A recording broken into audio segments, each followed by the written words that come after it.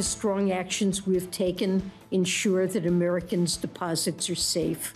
Certainly, we would be prepared to take additional actions if warranted. They do not have the authority without congressional action to ensure the deposits in open banks. I think what they did was uh, broadly appropriate. There's a lot of uncertainty and a lot of cards are going to be turned over. Next one or two weeks will be very crucial for the banking sector. This is an important period. They've got to show that they can manage both this as well as a crisis in, in confidence. This is Bloomberg Surveillance, early edition, with Anna Edwards and Matt Miller. It's 9 a.m. in London, 5 a.m. in New York, and 5 p.m. in Hong Kong. Our top stories today. More fallout from the Swiss bank deal. UBS tries to prevent an exodus of Credit Suisse's top talent in Asia. Meanwhile, both lenders are said to be facing a probe into whether employees helped Russian oligarchs to evade sanctions. Janet Yellen tries to reassure markets. The Treasury Secretary says regulators are ready to take further steps to protect the banking system if needed.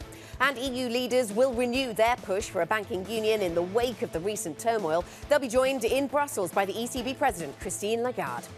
Welcome to Bloomberg Surveillance Early Edition. I'm Anna Edwards in London with Kriti Gupta in New York. Matt Miller is off today. And Kriti, it is very nice to be back with you today. Apparently, I missed something of a wild ride on markets. Whether that is over is a big question because European stocks selling off once again today. Yeah, I have to say, Mr. Historic, great decision, Anna, but that's okay. I'm sure there will be plenty more to come, uh, reflecting in some of the risk-off sentiment that you are seeing in the markets today. To your point, you see it in Europe, you see it here stateside as well. Take a look at what futures are doing right now. Simply this idea that they are down two-tenths of 1%. No major conviction, no major sell-off just yet, but certainly something that could be setting the tone for the rest of the day. Remember, it is going to be a weekend uh, here, uh, so there is going to be this natural sentiment, uh, given the banking turmoil, that they're to pull out ahead of whatever news uh, the weekend may bring. I also want to get to the bond market here, Anna, because the historic rate decision that you missed put the markets into a tizzy. The two-year yield, 371 is what we're looking at. A 12 basis point move lower already. A lot of that coming out from data that you are seeing over in Europe, actually having a read-through into the U.S. market. But I think for me, what's so striking is that the two-year yield is sustainably below 4%. That just means that the market, at the end of the day, is pricing in rate cuts, even though the Federal Reserve has been very clear that they don't have rate cuts on their mind at all. And nevertheless, as you see yields drop, the dollar actually stronger. And once again, this coming from weakness in the euro, again, from that European data. So it feels like Europe really in the driver's seat today, Anna. Uh, the dollar higher by about four tenths of 1%. NYMEX crude is going to continue to be a story as we inch closer and closer to potentially $100 a barrel, even though some of the Wall Street consensus is that it's not going to get there. 68 handle on NYMEX crude. Let's have a look then at the European picture, Chrissy. And as you mentioned, we are seeing some weakness coming through here. So European stocks definitely on the back foot, down by more than 1% on the FTSE, on the CAC 40 and on the Xetra DAX. In focus, the banking sector. Let's roll on and show you where we are on the banking story because the banking sector is the weak spot uh, today for European markets. We're down by just over 3%. So if you thought this was over, uh, we're now selling off again on European banks. Just to put that in context, back to where we started the year. So we've unwound once again all of the gains of 2023 in terms of that European banking sector. We'll see if we bounce again, which is what we did last time we were at this point a, a little bit uh, earlier on in the month of March. Interesting to see the UBS group is down 5.2%. Uh, we've seen downgrades on the banking sector to Deutsche Bank. We've seen downgrades from some analysts around UBS group as well. So uh, analysts having their say on what they see as the future shape of Credit Suisse and UBS together, what that does to their ability uh, to, to, make estimates there. Jefferies taking uh, a downgrade to UBS. We've seen a downgrade, as I say, to Deutsche Bank. Um, are we through the acute phase of this storm? That's how we saw it described by some. Bill Winters over at Standard Chartered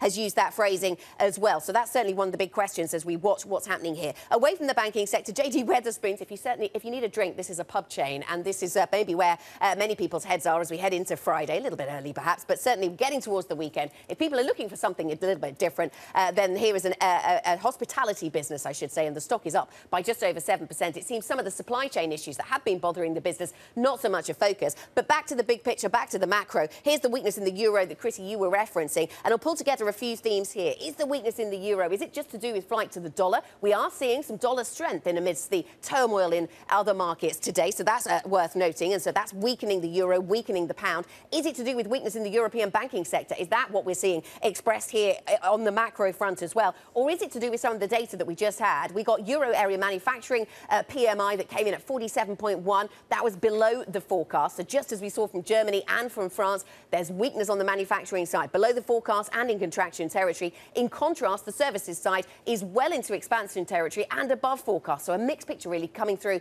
on those PMIs then, Chrissy. Yeah, is it uh, what came first, the chicken or the egg? That seems to be the story in the currency and the bond markets. And uh, I want to get to a Bloomberg exclusive. UBS wealth boss Iqbal Khan told Credit Suisse staff in Asia that retention packages could come as soon as next week. For more, we're joined by Bloomberg finance editor Tom Metcalf. Tom, why is UBS taking such drastic measures? Yeah, really interesting insight into this town hall he was doing in Asia. And, and, basically, you know, they're looking at these Credit Suisse wealth bankers. Is one of the main reasons uh, UBS, you know, was sort of incentivized to buy Credit Suisse. And they're desperate for them not to walk out the door, you know, particularly the top talent here. So what they're really looking at kind of rewarding or sort of locking people in is those bankers who, if, say, they, they move to another rival, might take, you know, hundreds of millions of dollars worth of clients' assets with them. So, you know, clearly a move here, and, and it goes to show, I think, where UBS's priorities are. It's the wealth business, it's the asset management business, and that's where they will be, uh, you know, seemingly happy to sort of pay up a bit just to make sure they, they get what they bought.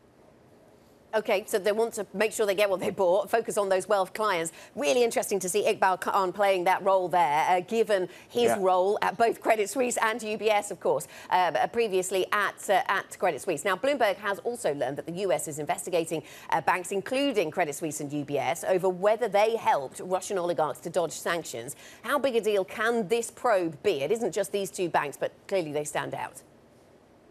Yeah, look, sanctions probes are, are, never good news, right? And, and you know, if you look in history, you know, some of these sanction probes have resulted in fines like you know in the billions of dollars.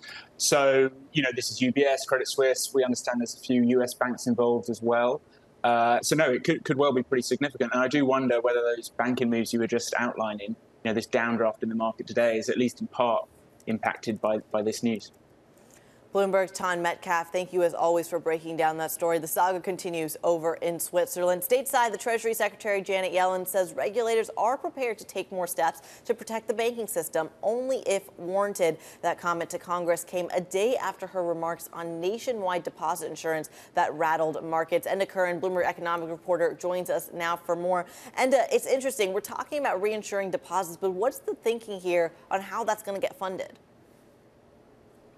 Well, I guess the first point was the Treasury Secretary was trying to calm markets and reassure investors, like you said, and roll back some of the confusion that came out of her earlier remarks to lawmakers during the week. She was essentially saying the Treasury is there, willing to take uh, whatever steps are necessary to uh, backstop depositors when it's merited. So she's trying to tread a fine line. She's obviously not wanting to, to suggest that they had the, the, blank, the authority to give out these kind of blanket backstops to banks and depositors, but she also realises, of course, it's a very fragile situation, very fragile sentiment towards US regional banks in particular at the moment, and she's trying to make clear that regulators do have options that they could consider when and if it's needed. So you know, it's a confidence play. It's a classic role of an economic official trying to ensure confidence in the system, reassure investors they're willing and ready to take whatever steps are needed. But of course, she has to balance the the, the, real, the, the realpolitik of that situation as well, making sure Congress mm. are inside, while also, of course, while also, of course, trying to tread the whole moral hazard debate. Yeah, absolutely. I mean, there might seem to be a tension between the comments we heard from her one day versus another, the first day of testimony versus the second. But Dan Tarullo, formerly of the Fed, uh, making the point to Bloomberg TV in the last 24 hours that there is a, there is a, a difficulty here because there are limits to what the Treasury can do, along with the FDIC, without the support of Congress. And that's what's being reflected in the two different testimonies that we got from Yellen here.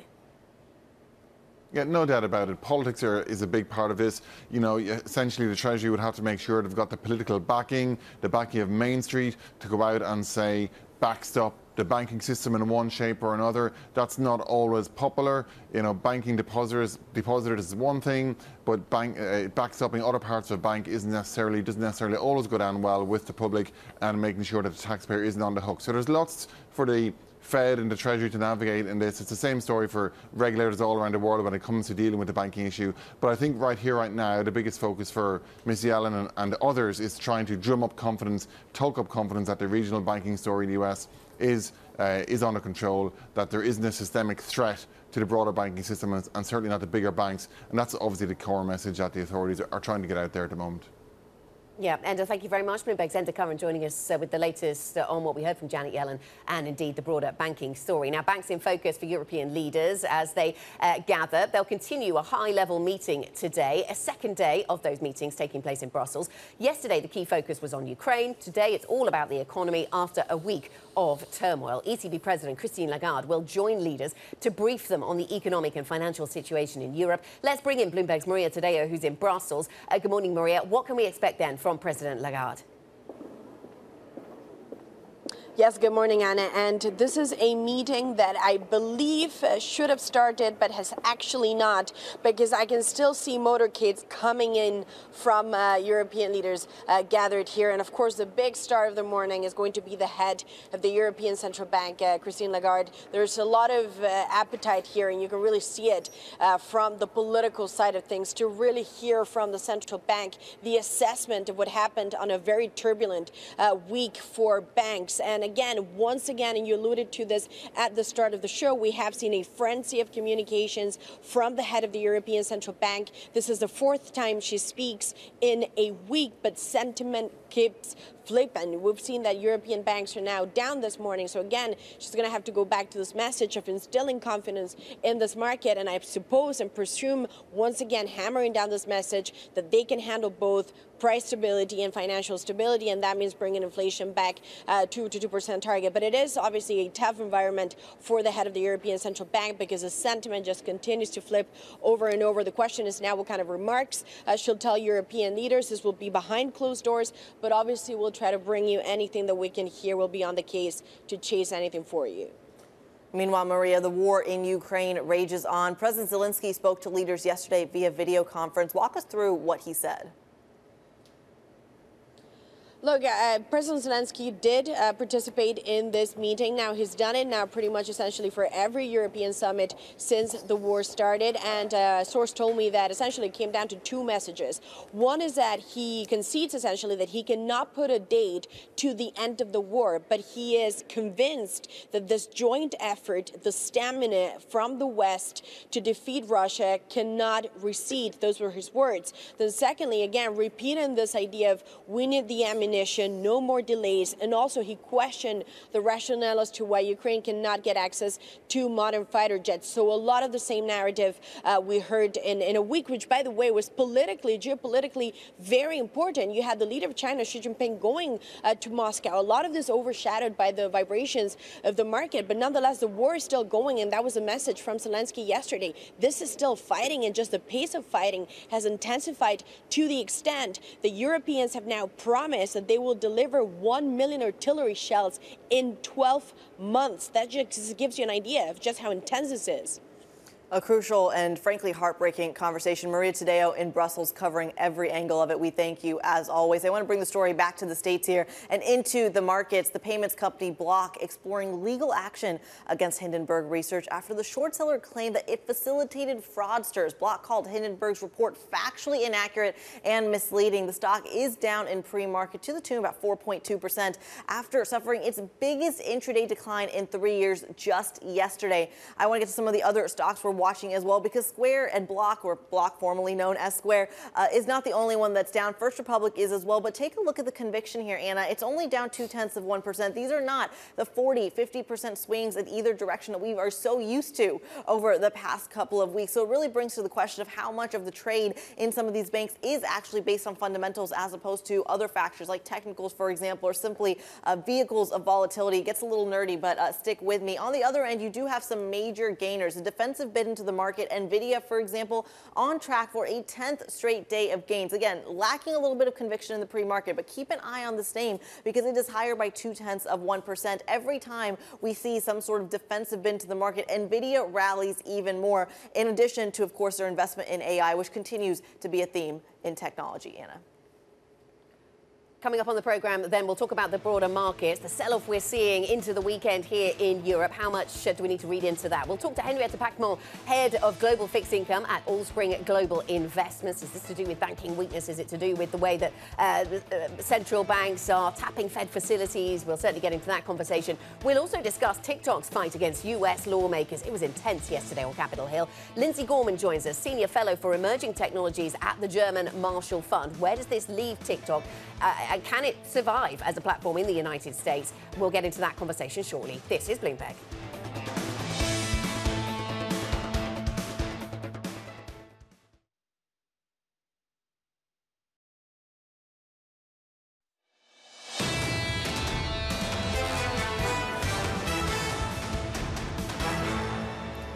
Been a fascinating day, uh, and I would say week, month in the markets. It kind of feels like we're going back to a little bit of habitual trading when it comes to how you actually play a market where you don't really know what the Federal Reserve is doing, you don't know what how bad the banking crisis is, and you really don't know how effective the moves to kind of tamper down inflation are going to be. And of course, the timeline on all of that, plus the scary R word. When you have that kind of uncertainty, it only makes sense to buy those defensive stocks. And surprise, surprise, that is exactly what we are seeing. Take a look at this chart for our radio audience. Stick with me here. We are looking at the quarterly percentage change uh, in the MSCI World Growth Index relative to the value index. So think about your names like your Apples, your Microsofts, anything that has that kind of a long-term value add. Those are the stocks that are outperforming. And might I add, outperforming by the most, going all the way back to 2000. It really speaks to the idea that you are seeing a defensive trade and potentially the start of another bull market rally, at least if you are defensively led uh, and a defensively led index like the S&P 500. Joining us now for a little bit more context, Bloomberg cross asset reporter Denitsa Tsekova. Denitsa, what do you make of this tech rally? Is it just defensive, or do you think there might be something a little bit more sustainable to it? Yeah, so what we've seen really um, is, that crazy tech outperformance. Um, uh, really, what we saw value was doing very well for a long time, and now uh, tech is back. Of course, a lot of this ties in with what we're seeing of market expectations of the Federal Reserve. We've seen the market has been quite positive. It's seeing peak rates in May. It's pricing in a lot of uh, rate, uh, rate cuts going forwards, which, of course, a lot of people are saying won't happen. Even the Fed um, is, uh, has been reluctant to say that, and he said that there will be no rate cuts.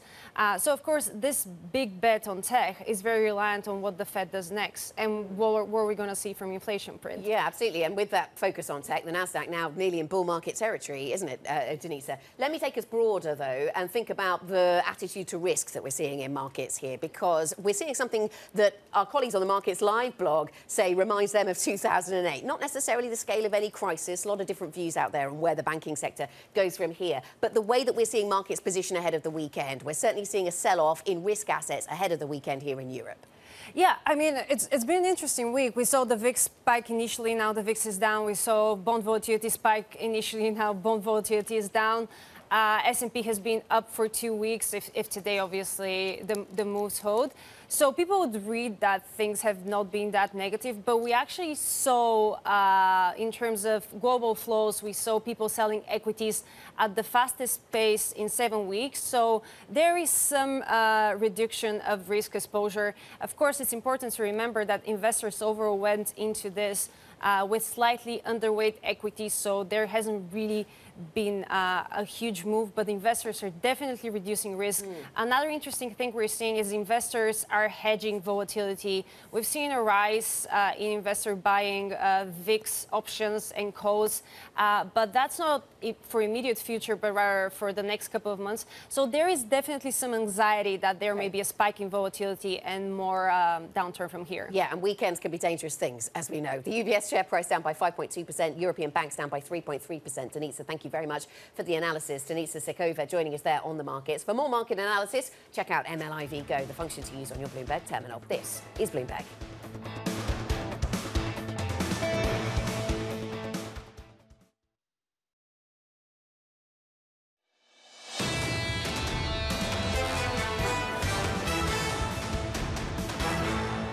This is Bloomberg Surveillance Early Edition. I'm Kriti Gupta in New York with Anna Edwards in London. Matt Miller is off today. Now, keeping up to date with news from around the world, here's the first word.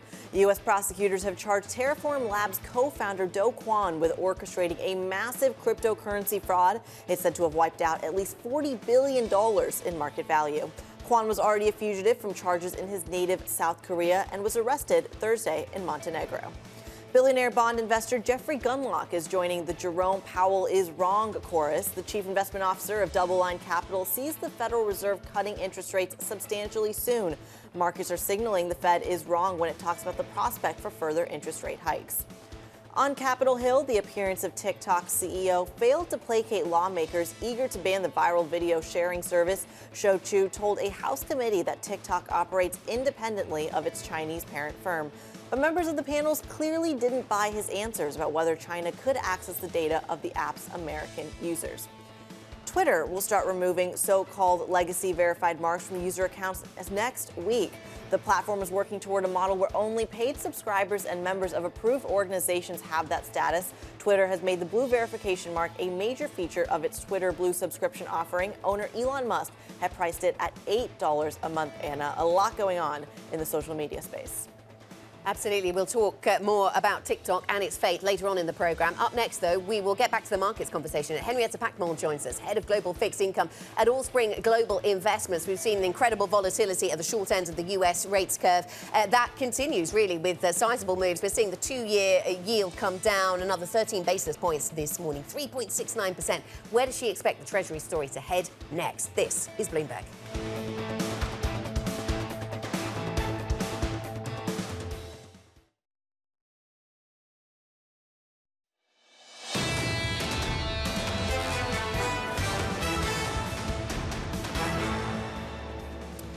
This is Bloomberg Surveillance Early Edition. Here's what you need to know. More fallout from the Swiss bank deal. UBS tries to prevent an exodus of Credit Suisse's top talent in Asia. Meanwhile, both lenders are said to be facing a probe into whether employees helped Russian oligarchs to evade sanctions.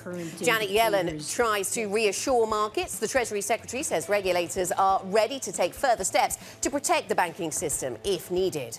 And EU leaders will renew their push for a banking union in the wake of the recent turmoil. They'll be joined in Brussels by ECB President Christine Lagarde. I'm Anna Edwards in London with Kriti Gupta in New York. Matt Miller is off today. And Kriti, European equity markets selling off once again as a result of concerns around the banking sector, it would seem. They seem to persist into the weekend. Um, uh, and US futures look a little unsure of which direction to head in right now. Yeah, a little lack of conviction, a little lack of momentum, but also completely natural on a Friday. And I think in the last couple of weeks, we've seen this hesitation to really uh, kind of hop into the market on Fridays, specifically given the banking news. A lot of that happens when when markets are closed. Remember, we are still waiting on news for things like acquisitions of First Republic stateside, the readout on the UBS Credit Suisse deal. A report just yesterday that that deal might take out take place fully at the end of April in terms of the actual merger. So a lot to digest, a lot of which again happens over the weekends. To your point, Anna, though, futures down about four tenths of one percent on this side of the Atlantic. The bond market is what catches my eye here. Two-year yield sustainably above four percent, and with no signs of heading back to that key level. 369 on the front end of the curve, a 13 basis point move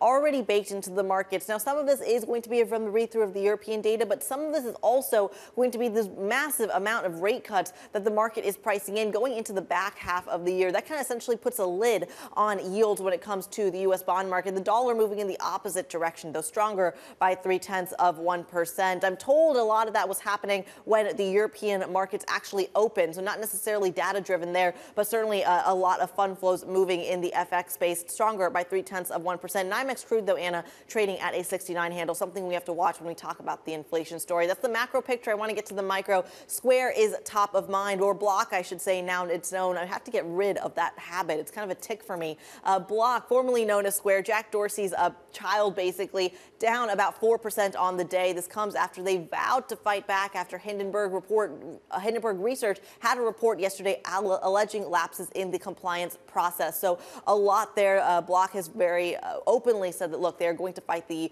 uh, potentially Hindenburg and SEC on any sort of those allegations because they just don't want the pain in their stock market. First Republic also top of mind, remaining volatile after whipsaw from Yellen's comments yesterday. And remember, we are going into that weekend. How much of that news are we going to get? Those shares higher by about two tenths of 1%. NVIDIA now paring a lot of their earlier gains. Remember, they were on track for their 10th straight day of gains. Now it looks unlikely they're going to hit that 10th day. But nevertheless, Anna, that defensive bid you're seeing in the market has historically reflected in NVIDIA. What's going on in Europe? Right, yeah. First Republic Bank, a move of a quarter of 1%. That doesn't sound much in, the, in, in recent uh, banking move terms, does it? Uh, I'll show you some bigger moves in the banking sector, and they're happening right here in Europe this morning. This is the picture for overall equities then, down by 1.2% on the Stoxx Europe 600. The banking sector is the weakest sector this morning, down by 3.4%. We've seen a downgrade to Deutsche Bank. We see their CDS just creeping up a little bit this morning. Uh, so there's a focus there on what's happening with the rest of the banking sector. And as I say, it is the weakest sector for Europe today.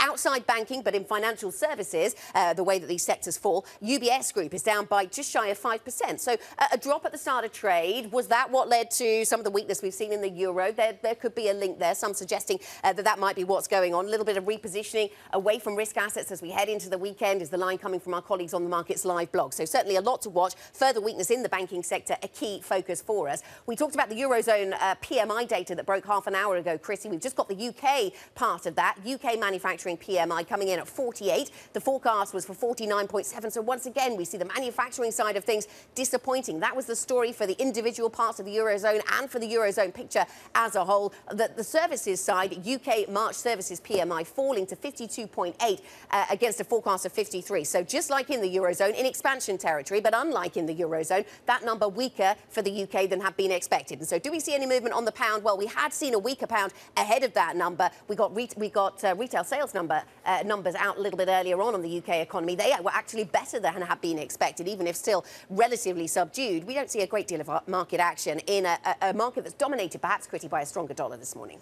Yeah, and it'll be interesting to see what that ACO data has a reflection on when it comes to the yield picture, because I, I got to say, Anna, one of the things that is mind-boggling to me is what is going on in this bond market. Who better to perhaps clarify things for me than Henrietta uh, head of global fixed income at Allspring Global Investments. Henrietta, a pleasure to have you on the show. Let's start with the front end of the U.S. Treasury curve, if we can. To what extent is it pricing in cuts, and to what extent are we going to see it go back to 4% on the two year yield? Um, so I think there's been a big change uh, given the volatility that we've seen over the past 10 days or so um, and some of um, the noise that we've been seeing um, in the financial sector, uh, particularly in the US. Um, so I think the moves that we're seeing there are a reflection of that. Um, and the fact that the Fed is going to get a bit of help in its battle uh, against inflation as we expect uh, credit conditions to tighten uh, given the volatility we're seeing in the, in the financial market, particularly in the regional banks. Okay, we're certainly focused on credit conditions, watching that data then very closely, Henrietta. I wonder what else you're watching. Uh, we've got a chart that shows the Fed uh, Foreign Central Bank's facility that was tapped for $60 billion, and there's been no information provided as to who accessed that repo facility. Of course, we know about where the stress in the central ba- in, in the in the banking sector has been of late, and so we can only we can only ask and we can only wonder. But is it this kind of data set that's worrying for you? Um, I think these are all the sort of pipes that we're looking at uh, at the moment to make sure that um, things are um, working as intended. Um, and it's been very interesting to see what the central banks have done um, in terms of their latest uh, rate hikes. Uh, they've tried to dissociate what they're doing in terms of their hiking cycle uh, with the conditions in the financial markets.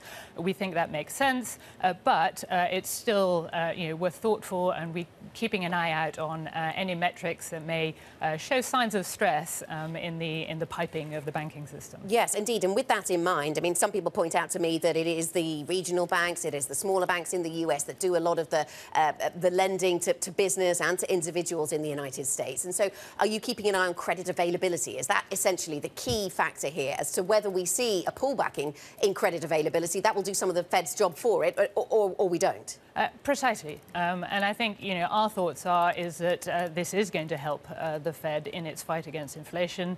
Um, so it's a careful balance to strike um, going forwards. Uh, but yes, it is going in that direction. It should help slow growth, which is what mm. they're looking for, um, and in time as well continue to help uh, getting inflation down. I've heard some people throw around the phrase credit crunch. I mean, that sends shivers down your spine because it has echoes of 2008. But where do you see a divide between the two? Uh, phenomena? Um, I do think we're in a different situation uh, to what we saw uh, in 2008. Um, however, um, you know, we are looking, uh, as I mentioned, in, in, terms of credit conditions, and um, that is likely to feed into um, fundamentals um, in certain areas of the market. and that's what the central banks are looking for. But it is, uh, you know, a, a tight uh, path mm. to strike at this point.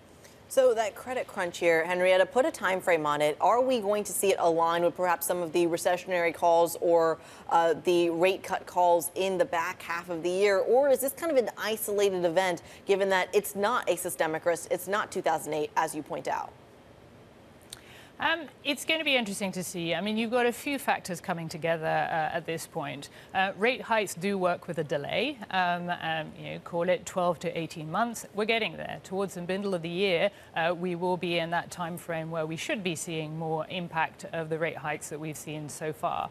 It's been a very fast uh, hiking cycle um, as well, um, you know, be it in the European side or, or the US side. Um, so it is starting to have consequences, and it's starting to shake out some of the more fragile areas. Uh, we had the LDI crisis in the UK. Um, now we have the sort of noise on the regional banks. Um, that's uh, you know what we're expecting a bit of a shakeout at this point. Um, we need to see how it feeds into the economy, um, and you know if you look at the numbers, even out of the Europe at the moment, uh, yes, uh, you know a bit more weakness on the manufacturing side, but services still coming in strong. Um, that's also the case in in the U.S., um, and that's where we need to see more of a turn in terms of inflation as well. So, Henrietta, then, if the banking turmoil is to some extent doing the work of the Federal Reserve and other central banks for it in terms of those kind of potential credit crunch ramifications, in terms of that policy lag that you just mentioned, is that a faster or slower effect to read through into the economy relative to a rate hike?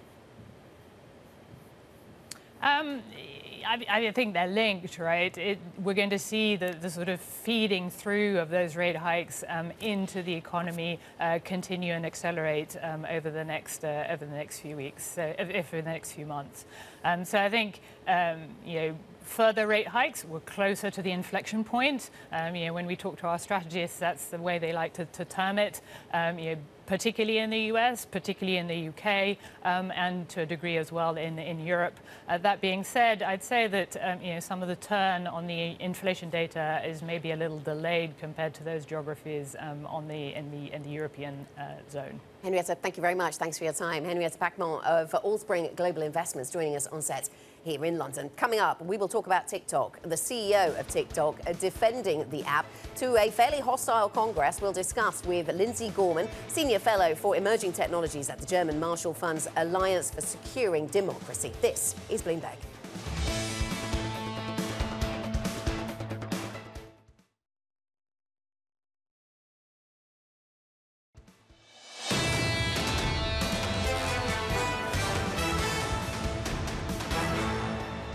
Have seen no evidence that the Chinese government has access to that data. They have never asked us. We have not provided. Well, you know what? I've I asked find, that. I find that actually preposterous. I, have uh, I, looked I, in, I have seen no evidence of this happening. Mm. And in order to assure everybody here and all our users, our commitment is to move the data in, into the United States to be stored on American soil by an American company, overseen by American personnel.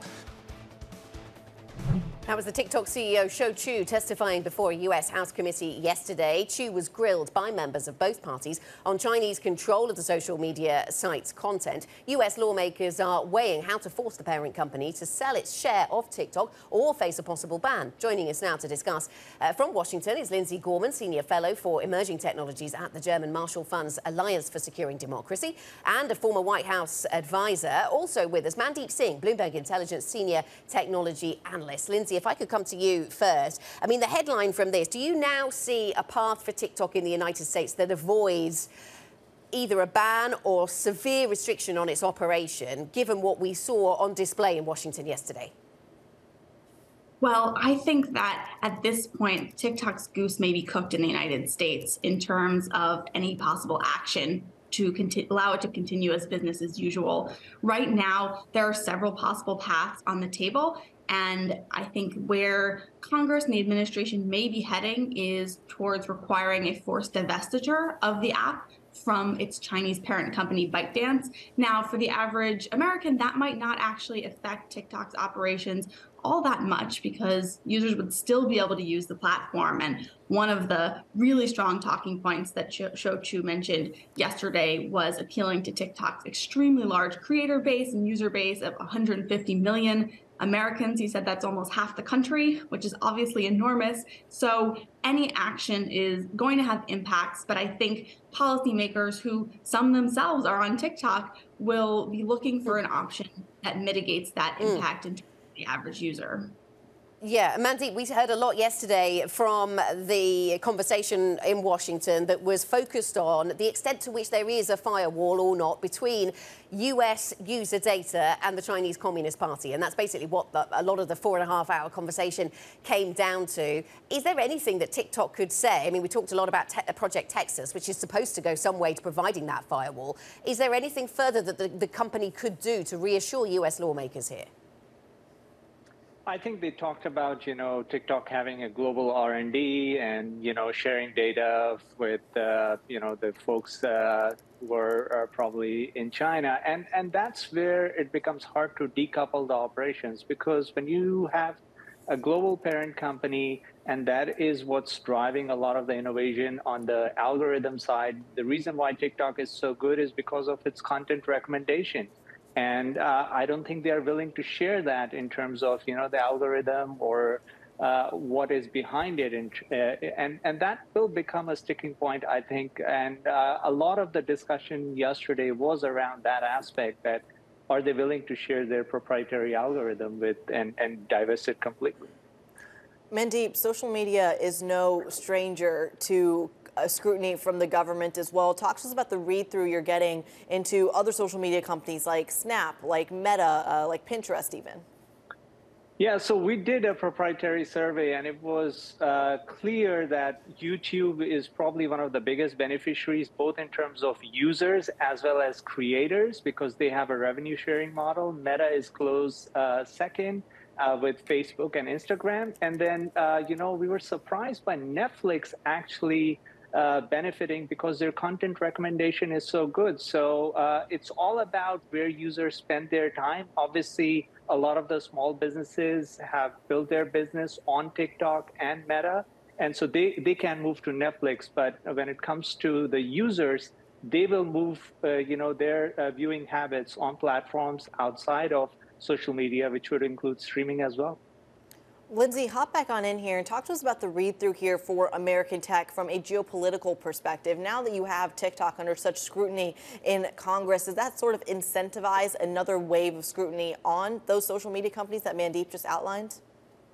I think it may. And one of the things that was so surprising and encouraging to me at the hearing yesterday was just how bipartisan in nature the calls and really the scrutiny of TikTok was, but also the calls for broader technology regulation. This is something that lawmakers have been talking about in Congress for five years now, ever since Mark Zuckerberg first testified before Congress um, in 2018. And for the first time, we really saw bipartisan calls for things like federal data privacy legislation that would apply to all social media platforms. Um, but I do think there's something unique about TikTok here and as Mandeep said earlier, the there was really a disconnect between what TikTok was saying with the potential to firewall off data and what lawmakers were really grilling him on because what he was saying is it's not about ownership, it's about this oversight. And essentially, the questions that lawmakers were asking actually went right to the very heart of TikTok's ownership, precisely by its parent company, ByteDance, asking about those financial ties, whether the CEO himself receives compensation from a Chinese company, whether his employees do. So I think these have broader implications for the business community and CEOs who have ties to China, who have these very mm. complex multinational geopolitical um, operations that we all need to be thinking about our relationships with China when we're doing business Yeah. now because US lawmakers are on alert.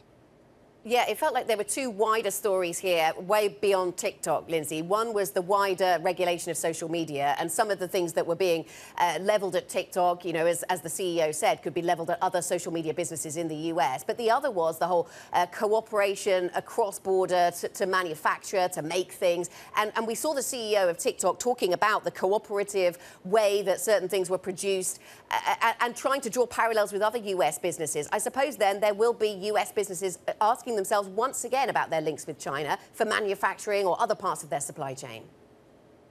Absolutely, particularly when, as regards China's possible human rights abuses with its Uyghur Muslims. That's an issue that Congress and the administration have been really hammering on and making sure that our supply chains are not inadvertently feeding China's surveillance state and China's human rights abuses. This con- whole conception of ESG, environmental, social, and governance that businesses have been accustomed to dealing with when it comes to climate risk and other ESG topics really is going to take on this new dimension of human rights when it comes to China. So I think this does apply to all businesses. Obviously, TikTok is uh, an anomaly in the sense that it has that ownership tie to China, but also TikTok won't be the last social media platform that comes from China. It won't be the last popular technology company that comes from China. It's not the first, it won't be the last. And so my hope is that policymakers put some stronger guardrails in place, uh, if for no other reason that businesses can know what to expect when they're developing these operations. Mandeep, I'll give you the final word here. Uh, 60 seconds. Talk to us about just the valuation on TikTok itself. Yeah, so when we look at the overall revenue, it's closer to you know 16 to 20 billion, and US is probably half of their revenue.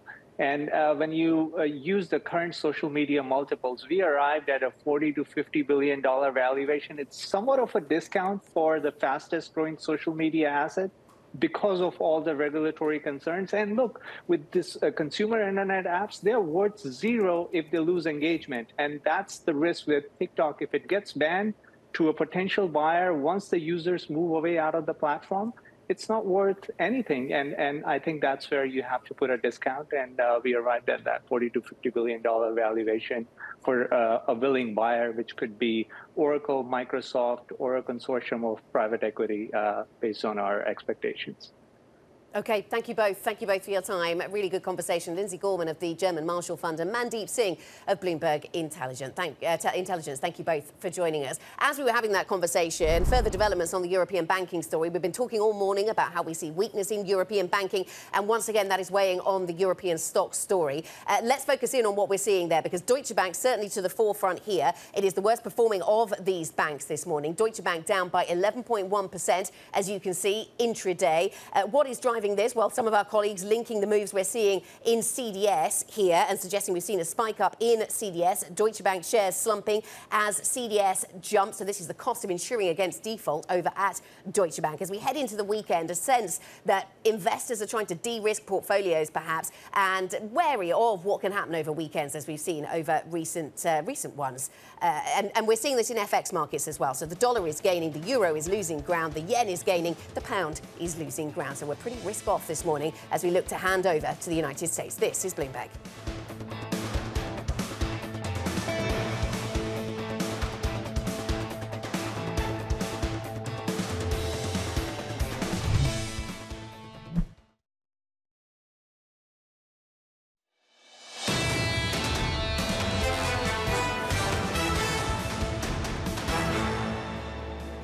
Welcome back to Bloomberg Surveillance Early Edition. A real focus on de-risking, it seems, here in Europe. Deutsche Bank uh, extending its drop. That stock down 11.1%. Kriti Commerzbank also down 8%. SocGen over in France down by 6.5%. Colleagues talking about businesses that are exposed to corporate lending here being uh, in the focus. Yeah, you're seeing it in the stock, you're seeing it in the credit default swap, specifically the five year surging there, and in the FX space, a read through into the macro as well. The euro, Anna, at a 107 handle, weakening as we speak. Yeah, and some of these European equity markets now down by more than 2%. The CAC 40 down by 2%. The Xetra DAX in Germany down by just shy of that amount as we work our way towards the start of US trading. That is it for early edition. Surveillance is ahead. This is Bloomberg.